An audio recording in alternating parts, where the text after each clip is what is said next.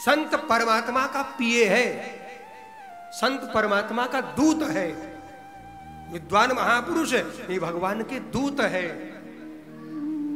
तो संबंध कब बनेगा?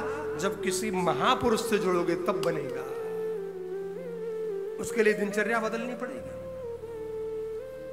बहुत से लोग मेरे पास आते महाराज, हम भी तो दीक्षा लेना चाहते ले लो। हमने क्या खाते हो? बस शुरुआत यहीं से होती है ना। क्या पीते हो? बस। जाओ। पहले इस पर कंट्रोल तो हो। विचार करिए।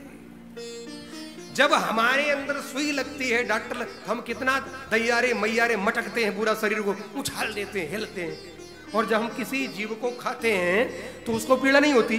जरा सोचो, कल्पना करो, कोई आपको मारे फिर खाए। है? अच्छा लगेगा। कितना चिल्लाओगे, कितना तड़पोगे। जिस जीव को मारकर रांध कर खाया जाता है, उस जीव को मारकर कोई भी मारे और कोई भी खाए, मारने वाला, कोई खाने वाला, उसमें अनेक प्रकार के श्राप लग जाते हैं। अनेक प्रकार के पाप लग जाते हैं।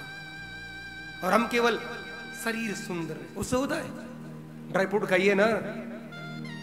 कितना परमात्मा ने दिया। है उसको खाइए।